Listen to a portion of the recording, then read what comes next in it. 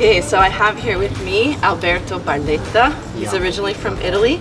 He's a professional dancer, teacher, very talented choreographer who's now based in Paris. And we are here at the Centre de Danse du Marais.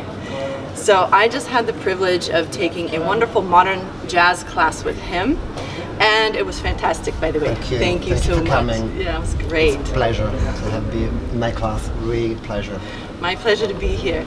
So thanks a lot for you know spending a couple minutes with me.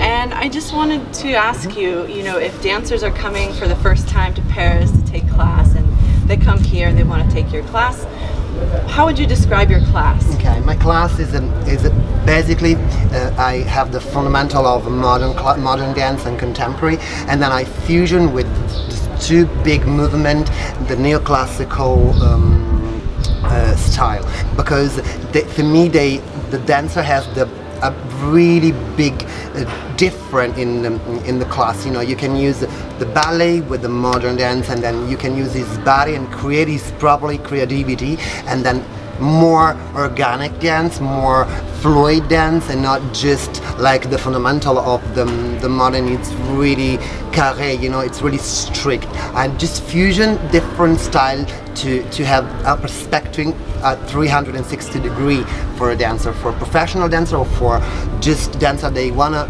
start to, to, to learn dance. This is my style, it's really organic and then this fusion in, can use use for yourself and then more fluidity more creativity for yourself too this is my style. Actually, I really like that description of 360 degrees Yeah. and organic, and I felt it was like that in the class.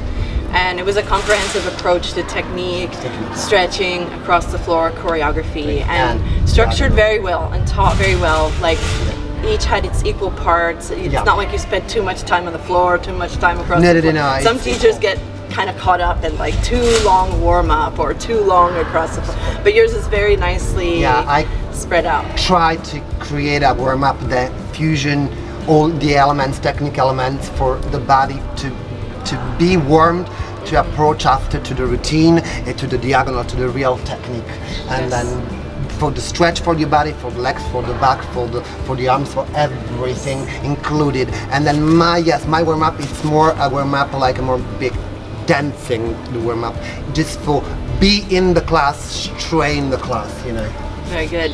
So you mentioned that you teach in other places. I teach in other places. I'm teaching in around Paris at Studio Harmonique. I'm teaching at Le Centre des Arts Vivants. And I'll go around the world to do workshop uh, in Italy, um, France, uh, internationally, US, UK? Germany, UK, uh, etc. When the school call me, and then it's a pleasure to me to to meet a new culture, a new dancer, and then share my passion and my universe about dancing. This is the reason because I like this job because.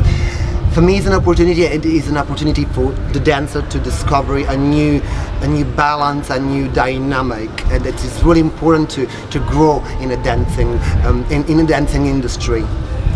Very good. Thank you so much for describing your passion with dance and you know explaining all about your class.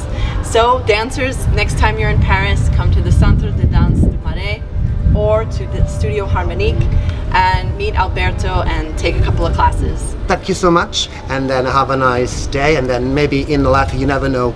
See you soon. Bye. Bye.